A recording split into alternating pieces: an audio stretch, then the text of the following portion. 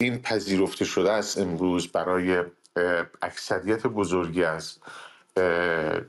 انسان ها در جوامع مختلف بشری با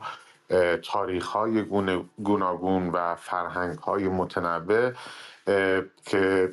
ارتباطی بین دین و اخلاق نباید جستجو کرد. یعنی منشأ اخلاق رو در دین نباید جستجو کرد. گرچه در گذشته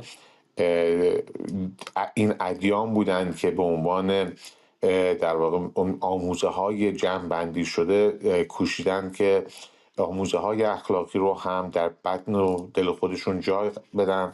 اما به ویژه به دلیل اینکه در ادیان شما مبنا رو بر این قرار می‌دید که بین آن کسی که ایمان دارد و باور دارد و کسی که ایمان ندارد و باور ندارد تفاوتی جدی وجود داره. و تقریبا در همه ادیان پیروان از مزایایی برخوردار هستند و منکران و کافران و مرتدان به اون باور نه تنها از اون مزایا برخوردار نیستند بلکه به شیوه های گوناگون هم در این جهان مورد مجازات قرار می گیرند و هم از نگاه اون معتقدان و باورمندان و دینداران در جهان دیگر هم باید تاوان و کفاره این گناهان نابخشودنی خودشون رو بپردازند. یعنی چه گناهی؟ گناه این که شما نیز مثل ما فکر نمی کنید این بزرگترین گناهی است که عده از انسانها به اسم دین یا هر نوع باور جزمی دیگری مبنا و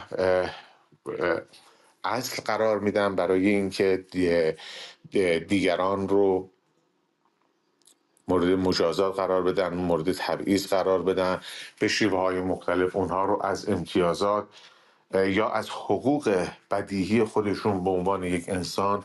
محروم بکنند خب این فرایند در جوامع مختلف و در ادیان مختلف هم تجربه شده محدود به یک دین یا دو دین یا یک کشور و یک جغرافی های خاص هم نبوده. ولی در گذر زمان انسان توانسته در واقع با مرزهای اندیشیدن و پرسش های خودش رو عمق و توسعه ببخشه و برای اونها و برای در واقع اینکه چگونه می‌توان در کنار همدیگر به شیوهی بهتر زیست جوابهایی متفاوت با آنچه که در ادیان ارائه شده ارائه بدم.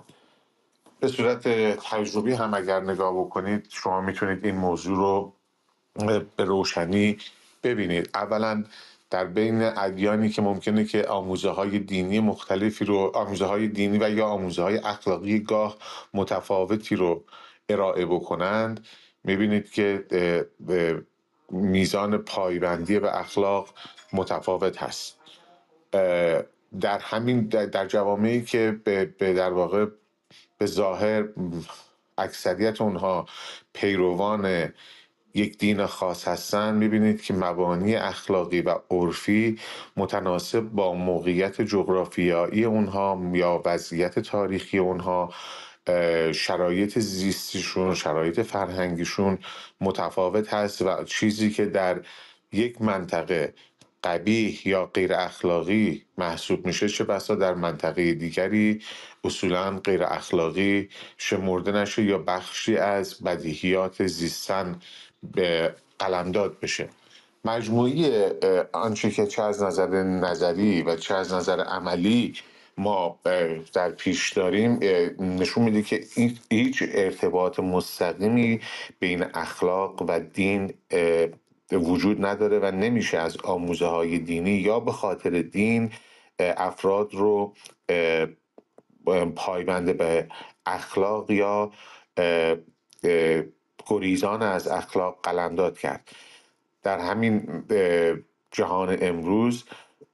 شما می‌بینید در کشورهایی که آمار رسمی داده میشه از حضور آتیست ها و اونها می‌تونن به صورت علنی دیدگاه های خودشون رو بیان بکنن و مورد تعقیب کلیسا و مسجد و کنیسه و اینها قرار نگیرن. می‌بینید که در واقع پایبندی شهروندان به امور اخلاقی به مراتب حتی بیشتر از جوامعی است که بر اساس دین و با آموزه های دینی دارن اداره میشن. این رو به روشنی شما می‌تونید در آمارهای مختلفی که منتشر میشه از میزان جرم و جنایت از میزان همدلی و همراهی و همبستگی کمک به دیگری رعایت حقوق دیگران و همه این امور و, از و در رأس اونها نحوه اداره جامعه بگونه ای که همزیستی مسالمت آمیز شهروندان رو با تلاش برای حفظ حقوق همه شهروندان در نظر بگیریم به روشنی می‌بینیم که در واقع تفاوتی بسیار بسیار جدی بین جوامعی که اداره خودشون رو بر دین استوار کردن و جوامعی که حالا چه با سکولاریسم چه با لایسیته کوشیدن که در واقع خرد انسان رو عقل انسان رو و انسان رو جایگزین اون آموزه های پیشینی بکنن و بر اساس منافع مشترک و خرد جمعی راه هایی برای بهبود زندگی خودشون پیدا بکنن. به ویژه اینکه در عصر حاضر به دلیل پیشرفت های تکنولوژیک و افزایش مداخله انسان در طبیعت بحث محیط زیست و حفاظت از محیط زیست و گونه های گیاهی و جان جانداران دیگر در کره زمین هم به مجموعه مسائل اضافه شده. یعنی امروز اخلاق صرفا حتی محدود به رعایت حقوق انسان ها نیست بلکه به رعایت مسائل زیست محیطی و مکان زندگی ما هم تسری پیدا کرده. و اینها اتفاقا چیزهایی است که شاید در آموزه های دینی بسیار بسیار کمتر مورد توجه قرار گرفته برای اینکه اساسا در اون زمان ها چون این اموری خیلی موضوعیت نداشته و مسئله نبوده. هرچند در جاهایی که به حال مثلا در دوره هایی که شیوه اصلی زندگی تغییر می‌کنه زمانی که به حال زندگی کوچنشینی و دامداری مهم هست. شما می‌بینید که حفظ جان حیوانات یا شماری از حیوانات اهمیت پیدا می‌کنه و جزو کردارها و رفتارهای دینی قلمداد میشه. ولی خب اینها جنبه های محدودی داره در صورتی که همین انسان بی خدای که باوری به این آموزه ها نداره بسیار بیشتر به حفظ حقوق خودش و حفظ جهان پیرامون خودش داره فکر می‌کنه. بنابراین من فارغ بدون اینکه بخوام وارد جزئیات این مباحث بشم که فکر می‌کنم در بحثای متعدد دیگری در همین اتاق و اتاقهای دیگه بهش پرداخته شده فکر می‌کنم که این موضوع خیلی دیگه نیازی به استدلال نداره. کسانی که معتقد می‌خوان که فارغ از آنچه که تجربه شده توسط انسانهای دیگر در جوامع دیگر چه در زمان حاضر چه در گذشته می‌تونن در واقع به بحث های تئوریک و نظری در این باب مراجعه کنن. در مورد یا اینکه در واقع با نگاه به اطراف خودشون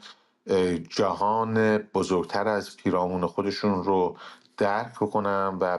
بپذیرند که می شود به شکل دیگری هم به این آموزه های اخلاقی دست پیدا کرد که مبنای اصلی همه اونها از نظر عقلی هم بهتر زیستن ما در این جهان هستش.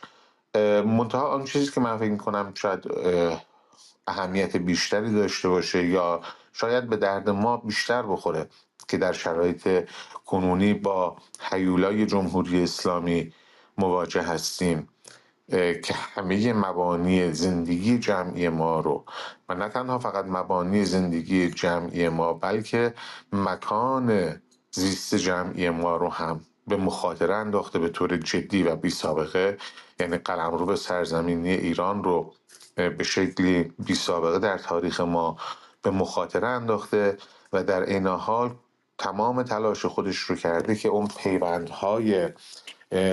همزیستی و همدلی و همراهی که لازمه زندگی جمعی ما به عنوان یک ملت هست رو هدف قرار داده. شاید در این زمینه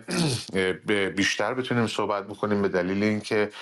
فارغ از اون بحث های نظری که حالا ممکنه برای یک فرد دیندار یا یک فرد ناباور به دین یا خدا جذابیت داشته باشه در نهایت من فکر می‌کنم از یک راه دیگری هم ما می‌تونیم به تفاهم بیشتری در این مورد دست پیدا بکنیم. اینکه ضمن پذیرش آزادی عقیده برای همگان بدون هیچ حد و استثنایی یعنی ما باید این حق رو برای همه قائل باشیم. کسانی که می‌خوان به هر دلیلی باور می‌کنند که این جهان آفریدگاری داره و اون آفریدگار فرد خاصی رو برگزیده به او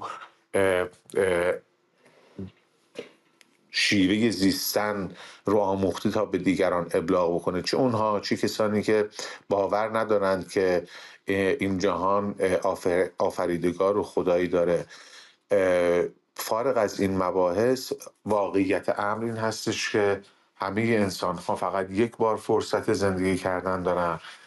و امروز شاید راحت تر بشه بر سر این اصول با هم به توافق رسید که ما در این یک بار و تنها بار زیستنمون چگونه می‌توانیم در کنار همدیگر زندگی کنیم که هم خودمون زندگی بهتری داشته باشیم و هم